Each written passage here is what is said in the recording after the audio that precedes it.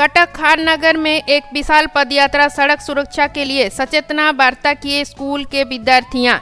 इस विशाल रैली कटक के खान नगर पार्क के पास से निकलकर तोड़ो मुंडाई में खत्म हुआ यह rally. Traffic DCP Sagarika Nath नीले रंग के तिरंगा दिखाकर शुभारंभ किए थे इस रैली का। लगभग 20 से भी अधिक विद्यालय के विद्यार्थियाँ इस सचेतना पदयात्रा में शामिल हुए थे। किस प्रकार हेलमेट पहनने के साथ अन्य ट्रैफ़िक नियमों को मानने से सुरक्षित रहने के ऊपर सारे विद्यार्थियाँ इसको लेकर स्लोगन दिए थे। दूसरी ओर, कमिश्नरेट पुलिस का ट्रैफ़िक डीसीपी सागरिका नाथ का कहने के अनुसार, नए ट्रैफ़िक नियम लागू होने के बाद सड़क दुर्घटनाएँ कम हुआ है। बहुत से परिमाण में लोगों में सचेतना हुआ है। फिर भी और भी कुछ सचेतना अभी भी बाकी है।